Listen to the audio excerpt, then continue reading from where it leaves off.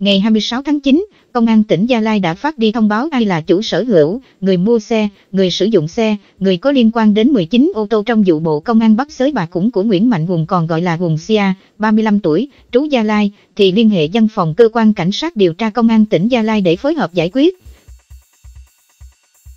Hàng chục xe của con bạc bị khi tham gia đánh bạc. Trước đó, Cục Cảnh sát Hình sự Chai, Bộ Công an, đã bắt đường dây đánh bạc khủng nhất Tây Nguyên do Hùng Sia tổ chức cho 200 con bạc chơi tại thôn 76, xã Hà Bầu, huyện Đoa, tỉnh Gia Lai.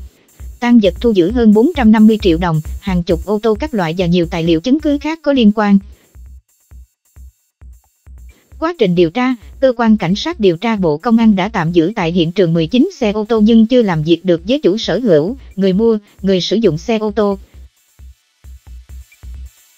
Có 4 ô tô xác minh được nhưng chủ sở hữu vắng mặt, chuyển đi nơi khác không xác định được nơi cư trú.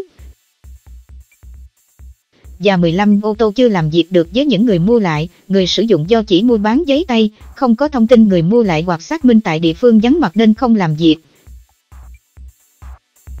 Cụ thể có 4 ô tô xác minh tại địa phương nhưng chủ sở hữu vắng mặt, chuyển đi nơi khác không xác định được nơi cư trú gồm các xe có ban kiểm soát 47A24288, 47K14306, 47A19756, 81A3820.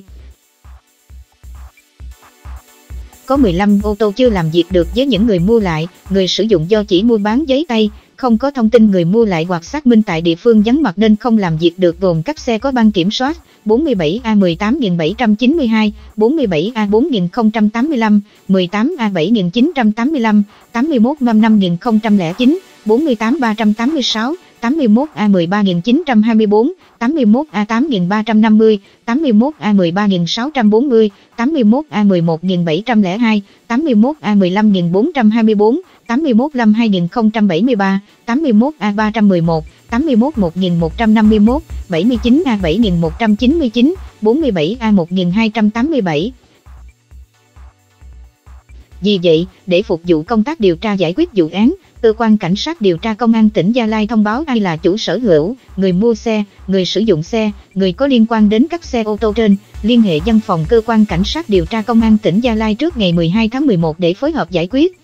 Nếu quá thời gian trên, cơ quan cảnh sát điều tra công an tỉnh Gia Lai sẽ xử lý phương tiện theo quy định của pháp luật.